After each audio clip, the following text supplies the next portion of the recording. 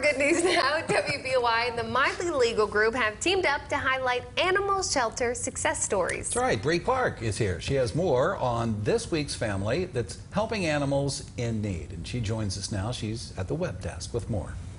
Thanks, Marissa. Thanks, Don. Our Happy Tale series continues with a Marion County rescue that some of you may be familiar with.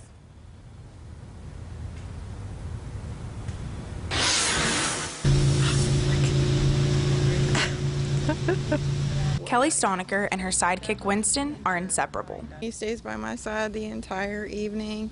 Um, he wants to be right on my heels or being held. But it hasn't always been that way. On July 31st, 2018, Winston was found on the side of the road, inside a sealed lunch bag being weighed down by a book.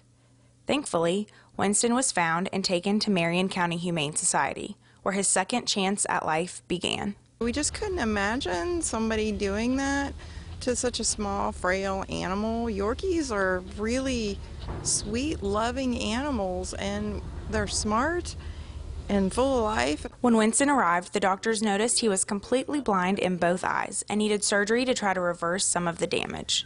Staff members at Marion County Humane Society quickly came together and created a GoFundMe account, hoping the community would help they just put him on, you know, the mend, um, and they started reaching out to the community because his eyesight was going to be so expensive to restore.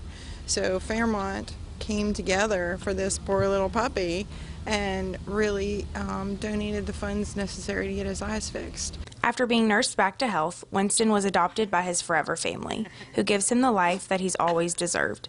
And regardless of everything he's been through, Winston still doesn't hold a grudge. He loves to give kisses to people, he loves kids, he loves people. Today, Winston and his family are working to pass Winston's Law, an ordinance that would ensure felony charges on intentional animal abuse in the state of West Virginia, in hopes that no other dog has to suffer the way Winston once did.